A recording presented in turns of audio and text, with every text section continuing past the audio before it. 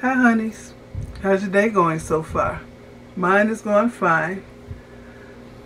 Um, I've been trying to find some snacks and some drinks that I can drink that won't raise my blood sugar.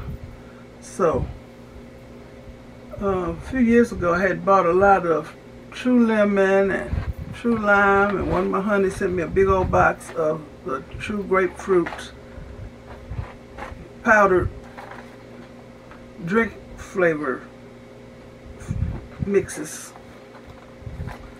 So I just ordered some more and it came today. I got the True Lemon, True Orange, True Grapefruit. Grapefruit is my favorite. And crystallized lime. So just, I'm to show you how the packets look. I'm drinking the True Lime now. Now mix one packet in this big old cup. This is my insulated mug. It keeps my water cold for a long time. I'll show you how this looks. That's how the packets look. So I use one packet per, how much?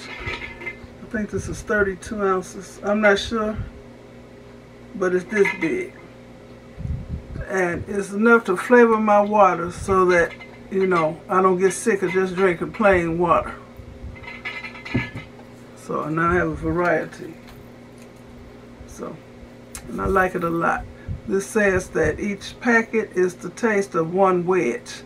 Like one lime wedge, one lemon wedge, one orange wedge, or one grapefruit slice. So I like it a lot. So it makes my drinking water not so boring. So let me help this up.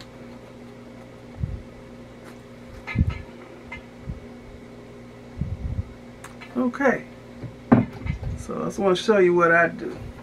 And I've been snacking on skins you know, uh, what you call it? I don't want to say the wrong thing, that word that's on the bag of skins. Pork rinds and something else that starts with a C. I think it's a Spanish word. I started to say cucarachas, but it's not that.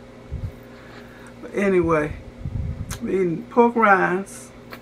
I like it when I can find the different flavors.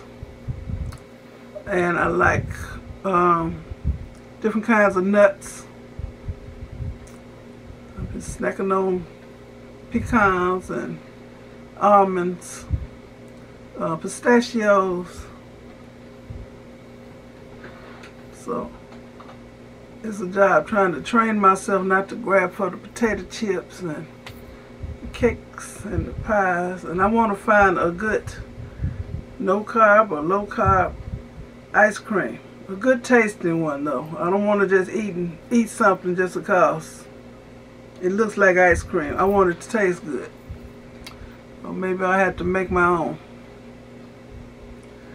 Well, anyway, I'm trying y'all. And I'm going to stop using so much breading. That's right, I have a, a recipe for chicken breading. And I, th I think it's no carbs using almond flour and xanthan gum and some other stuff. I got the recipe written down because I don't want to give up my air fried chicken with the breading. So, and of course I'm going to season whatever I make real good. So, struggle. Okay, I want to thank you for watching. Give me a thumbs up.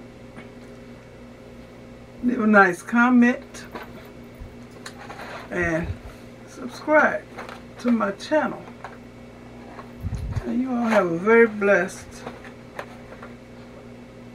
rest of the day.